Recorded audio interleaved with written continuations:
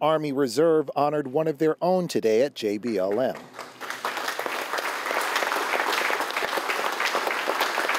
Sergeant James J. Holtom was memorialized at the United States Army Reserve Center, and the building will be renamed in his memory.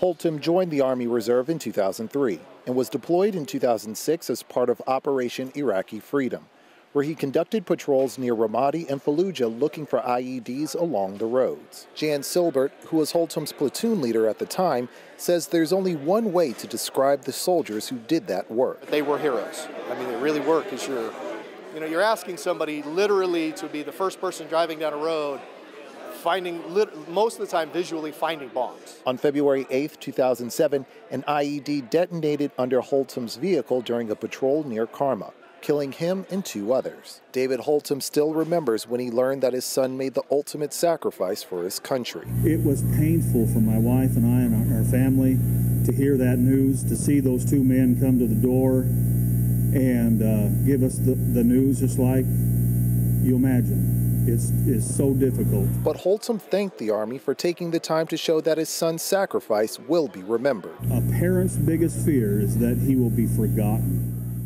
And, and things like this help ease that in a, in a big way.